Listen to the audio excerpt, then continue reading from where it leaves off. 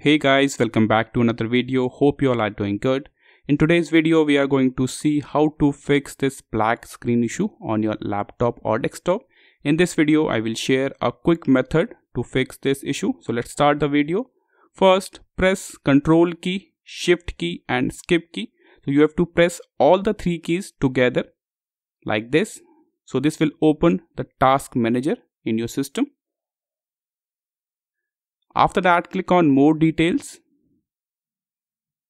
So this is the task manager. Now click on this file option. Click on file. After that, click on run new task. Now here you have to type a command explorer.exe. So you have to type this command carefully. After that, click on OK or you can press enter on your keyboard and this will fix the black screen issue.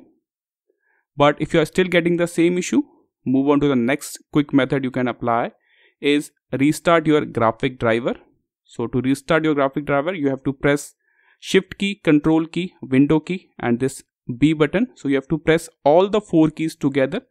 I will show you how to do it. Press all the four keys together. So this will restart your graphic driver.